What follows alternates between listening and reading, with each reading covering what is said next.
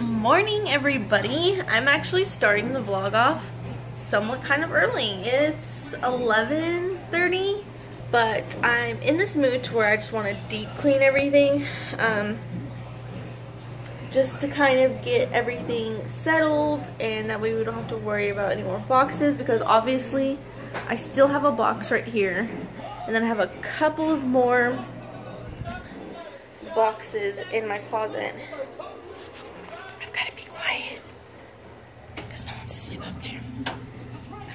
bunch of like boxes in here that I need to get rid of and clean out.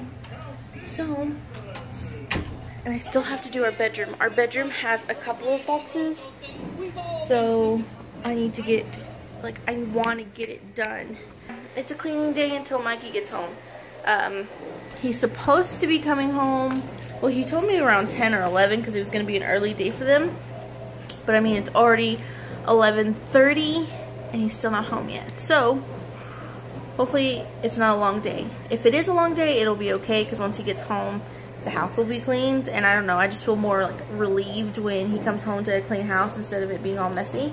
And I'm over explaining it again. I've noticed I do that. I over explain everything. So yeah, I'm basically cleaning today. So here comes a bunch of montages of me cleaning. So much fun. All my flowers are dead.